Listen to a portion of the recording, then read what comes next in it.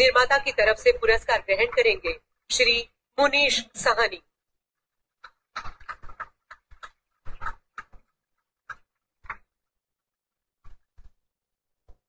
इस फ़िल्म के निर्देशक श्री विजय कुमार अरोरा को भी रजत कमल दिया जाता है A biopic of a hockey player who struggled through his rural background and poverty to rise to the top of his game.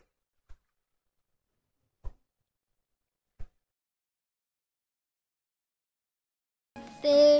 ਵਧੀਆ ਫੀਲਿੰਗ ਹੈ ਬਹੁਤ ਜ਼ਿਆਦਾ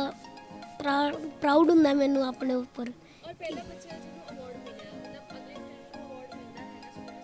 ਸੁਣਦਾ ਪਰ ਇੱਕ ਕਰੈਕਟਰ ਦਾ ਬਦਲਾਅ ਕਿੰਨੀ ਖੁਸ਼ੀ ਹੁੰਦੀ ਹੈ ਬਹੁਤ ਜ਼ਿਆਦਾ ਖੁਸ਼ੀ ਹੁੰਦੀ ਹੈ ਕਿ ਮੈਨੂੰ ਅਵਾਰਡ ਮਿਲਿਆ ਬਟ ਮੈਂ ਇਹ ਕਹੂੰਗਾ ਕਿ ਸਾਰੇ ਮਿਹਨਤ ਕਰੋ ਤਾਂ ਕਿ ਸਾਰੇ ਅਵਾਰਡ ਜਿੱਤ ਪਾਣ ਹੋਰ। ਫਿਲਮ ਉਸ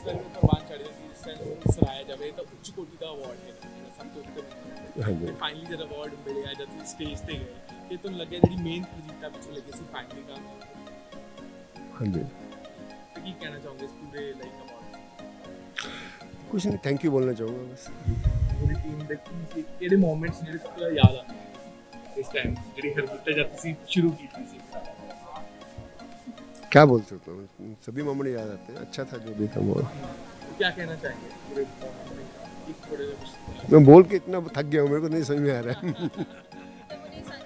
ਹਾਂਜੀ ਹਾਂਜੀ ਫਾਈਨਲੀ ਉਹ ਟਾਈਮ ਕਹਿੰਦੇ ਨਾ ਬਾਕਸ ਆਫਿਸ ਹੈ ਜੈਸਾ ਵੀ ਸੀ ਪਰ ਕਹਿੰਦੇ ਨਾ ਫਿਲਮ ਪ੍ਰਵਾਨ ਚੜੀ ਦਾ ਨੈਸ਼ਨਲ ਅਵਾਰਡ ਹਾਂਜੀ ਕੀ ਕਹਿਣਾ ਚਾਹੋਗੇ ਅਹ ਮੈਨੂੰ ਲੱਗਦਾ ਕਿ ਟੀਮ ਹਰਜੀਤਾ ਤੋਂ ਇਲਾਵਾ ਪੂਰੀ ਪੰਜਾਬੀ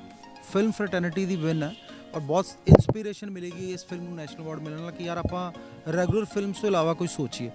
ਸੋ ਮੈਨੂੰ ਲੱਗਦਾ ਹਰਜੀਤਾ ਡੈਫੀਨੇਟਲੀ ਇੱਕ ਬੈਂਚਮਾਰਕ ਜਦੋਂ ਤੱਕ ਪੰਜਾਬੀ ਸਿਨੇਮਾ ਰਹੇਗਾ, ਪੰਜਾਬੀ ਸਿਨੇਮਾ ਹਿਸਟਰੀ ਰਹੇਗੀ ਹੈ ਨਾ ਸੋ ਜਿਵੇਂ ਆਲਰੇਡੀ ਕਿ ਆਪਾਂ ਚਾਈਲਡ ਆਰਟਿਸਟ ਨੂੰ ਪਹਿਲੀ ਵਾਰ ਪੰਜਾਬੀ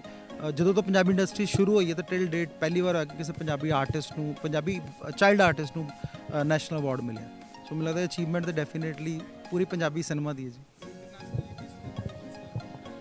ਹਾਂਜੀ ਪਲਾਨ ਚੱਲ ਰਿਹਾ ਜੀ not in the traditional countries ਉੱਥੇ ਆਲਰੇਡੀ ਪੈਰਲਲ ਰਿਲੀਜ਼ ਹੋ ਚੁੱਕੇ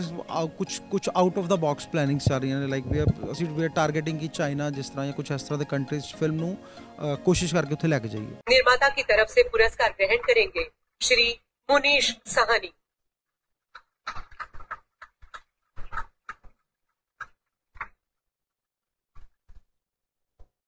इस फिल्म के निर्देशक श्री विजय कुमार अरोरा को भी रजत कमल दिया जाता है A biopic of a hockey player who struggled through his rural background and poverty to rise to the top of his game.